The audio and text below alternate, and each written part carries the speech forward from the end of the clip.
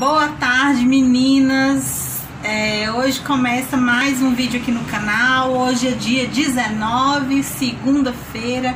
São mais ou menos, acho que umas 3 horas, viu? 3 e pouco.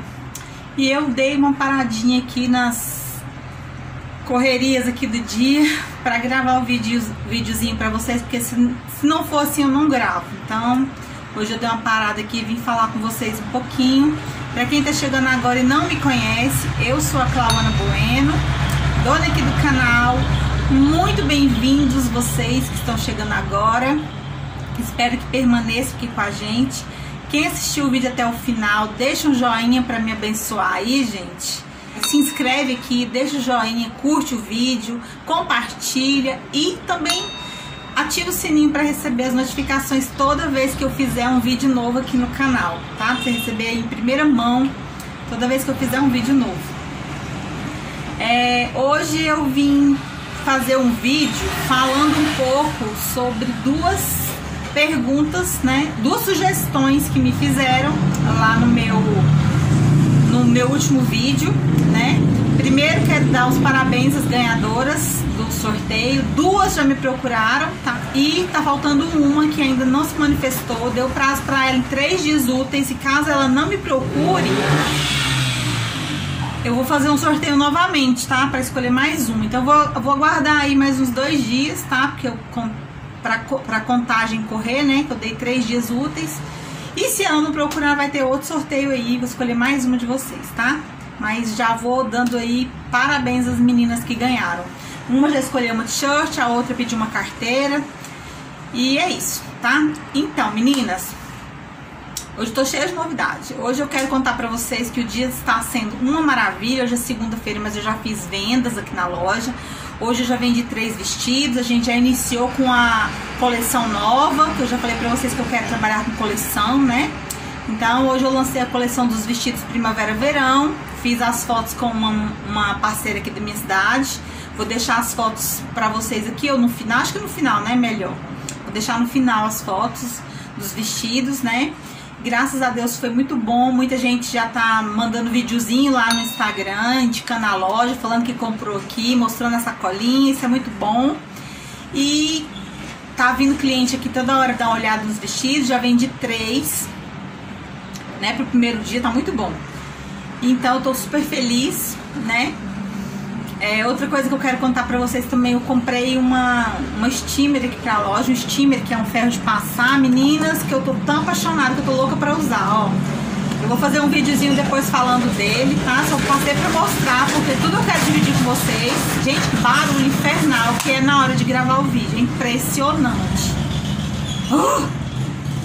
Doida, né, gente? Eu, ó, então eu comprei esse aqui hoje porque como eu fui fazer as fotos da, das, dos vestidos, gente, eu fiquei passando tudo no sábado, numa correria desgramada, porque teve festa de político aqui na cidade.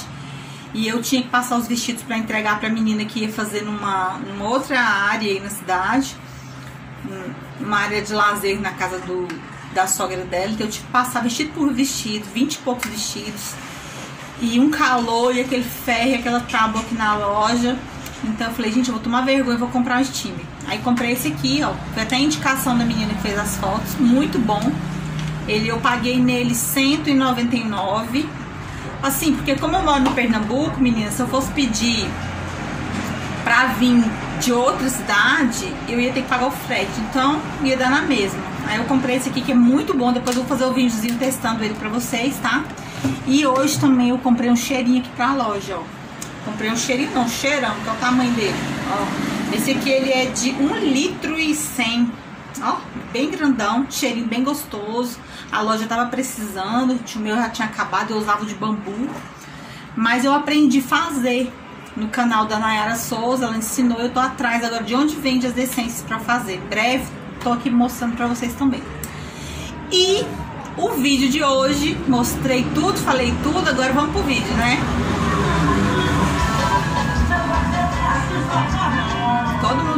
Passar aqui na porta com o som ligado quando eu tô fazendo o vídeo. É, a seguidora do canal, vou achar aqui o papelzinho que eu anotei.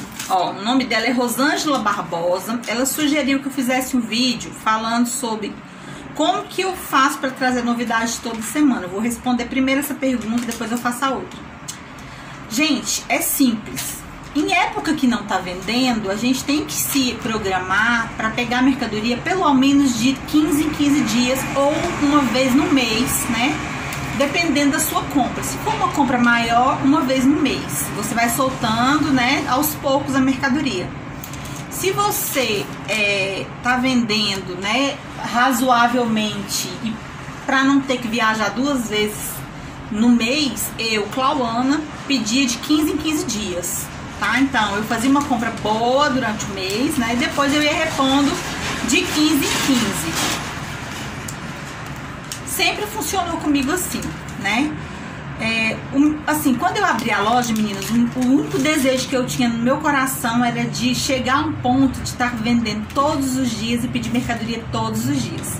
Eu já vi até uma das meninas que tem canal também falando a mesma coisa. E não tem coisa mais gratificante no mundo do que você vender todos os dias e todos, todas as semanas você poder pedir mercadoria para o seu cliente. Então, assim, hoje em dia eu peço toda semana. Por quê? Porque hoje em dia eu tenho um fluxo de venda bacana né? Eu me programo assim, ó. Entrou mercadoria na loja, né? Eu anoto tudo, coloco bonitinho no caderno e tudo que vai entrando eu vou dando baixa. Então o que, que eu vou fazendo? Eu vou separando. Eu vou pegar um pouco do dinheiro, vamos supor que entrou 100 reais, eu tiro 20 reais, vai para o envelope, que é para pagar as contas da loja, 50 eu tiro para para fazer pedido novamente. Então, toda peça que eu vendo, se eu vender uma peça de 70, eu tiro 20 para pagar as contas da loja, vou pôr no envelopinho. 50 eu tiro para. Meu Deus, que mosquito chato. 50 eu tiro para juntar, para eu ter o capital, né, de, de girar aqui na loja. Então, toda semana, graças a Deus, eu tenho dinheiro para fazer pedido, tá, meninas? Com isso eu também consegui juntar um dinheirinho, guardar um dinheirinho, então me programa assim, ó. Tá vendendo bem toda semana. Não está vendendo bem 15 em 15 dias. Ou então você faz uma compra bem boa, né? Aí eu não sei o que, que é boa aí pra vocês, porque isso depende da rotatividade da mercadoria. Para eu é, trazer mercadoria toda semana, eu me organizo dessa forma. Eu vou vendendo, tirando um pouquinho para fazer pedido também na outra semana. Vou vendendo, tirando e colocando na, meu envelopinho para poder fazer pedido na outra semana. Então sempre tenho dinheiro para pagar as contas e sempre tenho dinheiro para fazer os pedidos e sempre tenho o meu, né, também. E assim eu vou indo, graças a Deus. Espero ter respondido, viu, Rosângela? Porque assim, isso varia muito, né, de loja para loja, de vendas, né, o fluxo de vendas, tudo varia bastante. Então eu tô contando para vocês a minha experiência aqui na minha loja, tá? O que, que eu faço com as roupas que ficam encalhadas na loja? Gente, isso é uma pergunta bem bacana, porque antigamente eu faltava ficar louca. Eu fazia compra errada, né? Errada porque a gente compra pelo gosto da gente quando é errado. E não pelo gosto do cliente. Você tem que entender que o seu cliente, você tem que, você tem que é, começar a aprender a comprar para o seu cliente, não para você. Lógico, o gosto da gente também, né, vai ter um peso. Mas antigamente eu comprava tudo no meu gosto, entendeu? Então algumas peças ficavam paradas na loja. E essas peças, gente, eu olhava pra elas, olha, eu publicava, eu fazia promoção, eu fazia tudo e, essas, e saía um pouco, ficava sempre um pouco na loja, porque isso é normal, né? E eu ficava muito preocupada com essas peças que ficavam. Hoje em dia, gente, eu não tenho mais essa preocupação. Eu não faço mais promoção, é muito raro. Tanto é que um dia que eu faço uma promoção aqui na loja, eu vendo todo o estoque que foi para promoção, porque é muito difícil fazer. Sabe por que, que eu não faço? Porque assim, a promoção ela vicia o cliente e é, outra coisa também que você tipo teve um gasto para você trazer aquela mercadoria. Você vai vender mais barato, você teve o gasto, você tem as suas contas fixas, né?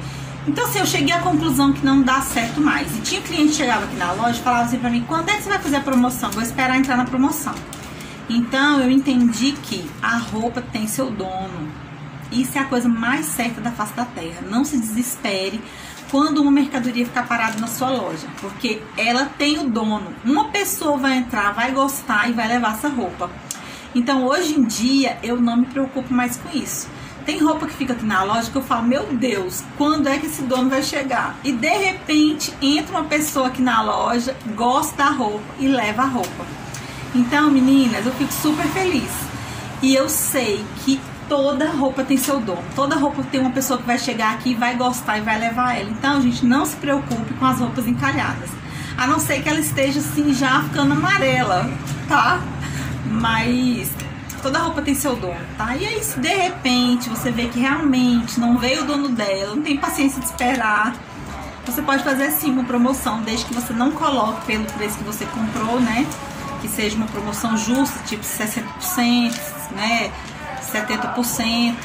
Faz um desconto bacana que a, a, aí a peça sai, tá? É, aqui na minha loja funciona assim, viu, gente? Eu não me estresso mais. Eu fico esperando o dono chegar. Bom? Agora é mãe. Então eu fico esperando o cliente vir buscar a roupa dele. E chega. Impressionante como chega, tá? Rosângela, eu fiquei super feliz aí com a sua dica. Eu espero que você.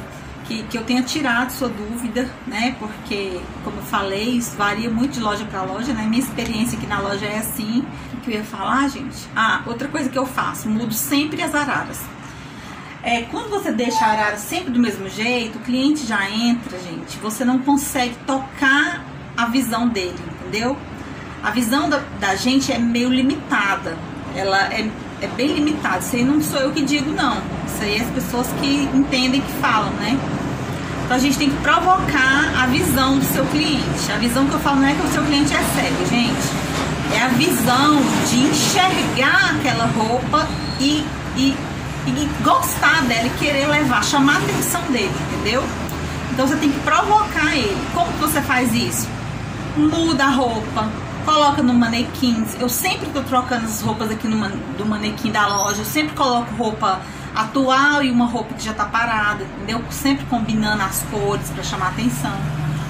Eu já reparei que sempre que eu mudo as coisas de lugar, chama atenção, o cliente pensa que é novidade. Então isso também ajuda você a, a vender suas coisas. Uma boa foto ajuda você a tirar um, uma peça. Mesclar uma coisa nova com uma peça que já está parada na loja também ajuda você a tirar a roupa encalhada da loja. Então tem algumas dicasinhas que eu uso aqui na minha loja que estão dando certo e tem saído as minhas peças encalhadas. Esses dias eu vendi uma roupa aqui na loja que eu quando a cliente disse que ia levar a menina, eu fiquei tão feliz, mas tão feliz que quase dou um brinde pra ela. Mas não é que a roupa é feia nem nada, gente. É porque a bichinha tava parada muito tempo aqui na loja e saiu, graças a Deus. Então é isso. É... E espero que vocês também comecem a deixar mais dicas aí pra mim. Já tem outra aí dica, né, de outra menina aqui no canal que pediu para fazer um vídeo também, eu já anotei. Não tô me recordando o nome dela aqui agora, mas depois eu vou dar uma olhada. E espero que vocês deixem aqui também as dúvidas de vocês. Hoje está chegando mercadoria, então provavelmente lá para quarta-feira ou quinta tô soltando o videozinho das novidades da semana, tá? Aguardem aí.